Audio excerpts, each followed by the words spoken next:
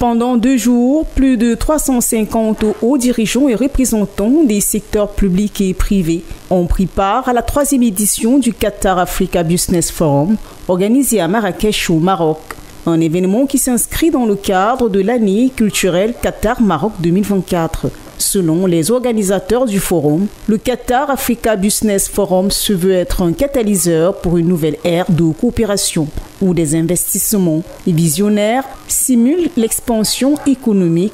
tout en donnant la priorité à la génération de notre planète. Les débats ont été articulés sur l'investissement dans l'intelligence artificielle pour assurer la croissance de demain. Le choix de cette thématique s'explique par la dynamique d'urbanisation accélérée qui s'observe au niveau continental. L'occasion de débattre des enjeux stratégiques pour accélérer le développement et la croissance du continent africain qui connaît de grandes mutations sur le plan économique et social. L'objectif du forum est de ce fait accélérer la coopération sud-sud à travers des projets communs axés sur l'intelligence artificielle, l'innovation technologique et la durabilité d'explorer le rôle de l'Afrique dans l'économie mondiale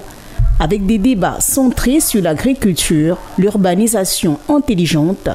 et les énergies renouvelables et afin de préparer les infrastructures sportives et économiques pour 2030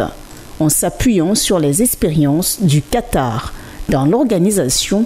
de la Coupe du Monde FIFA 2022 en mettant en lumière les initiatives et innovations réussies de l'Afrique et du Moyen-Orient, des intervenants de haut niveau ont illustré le potentiel de transformation des technologies nouvelles pour façonner les villes de demain.